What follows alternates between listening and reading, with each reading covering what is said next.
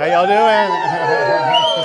I'm here today to officially sign the paperwork to run for re-election as governor of the great state of Texas. On this stack of papers are the signatures of more than 20,000 Texans to get me on the ballot to remain as your governor of Texas.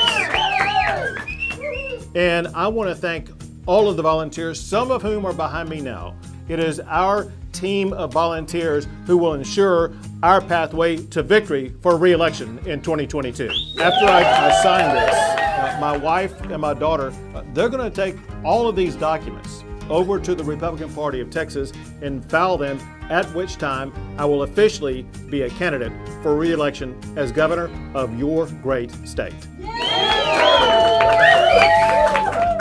I want you to know uh, I'm running for re-election to protect and secure our border.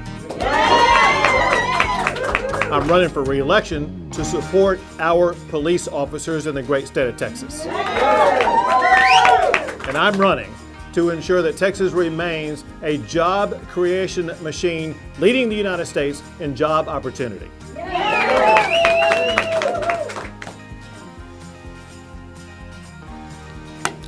Working together, we will keep Texas the best state in the United States of America.